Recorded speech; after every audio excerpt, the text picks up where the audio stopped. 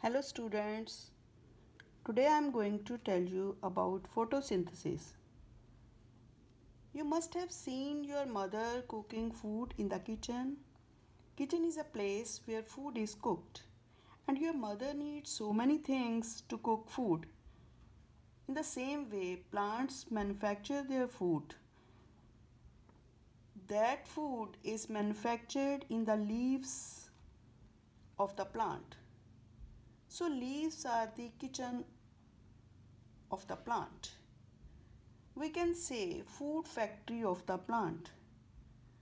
For that plants needs carbon dioxide, water, sunlight and chlorophyll.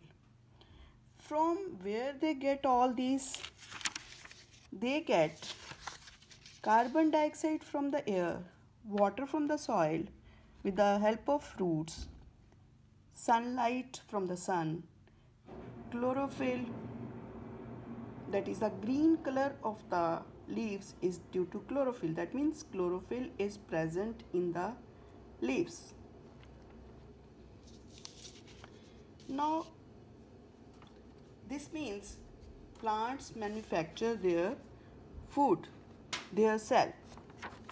So from all this we got photosynthesis.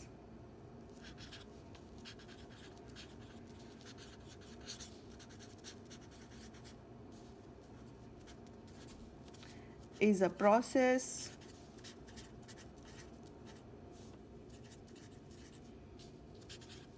by which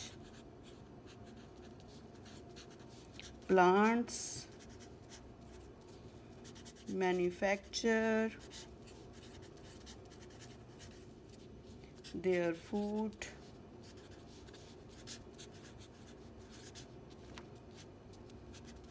With the help of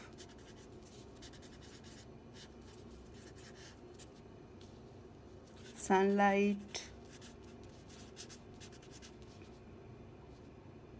from sun chlorophyll from leaves. Air sorry carbon dioxide.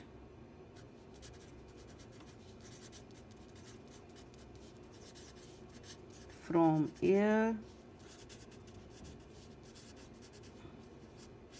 And water from the soil. You can also add minerals from the soil and they manufacture their food. This food is stored in the leaves and supplied to all the parts of the plant and also the food is stored in the form of fruits in the roots in the stem that we eat this is all photosynthesis. If you like the video please comment and share it and subscribe my channel. Thank you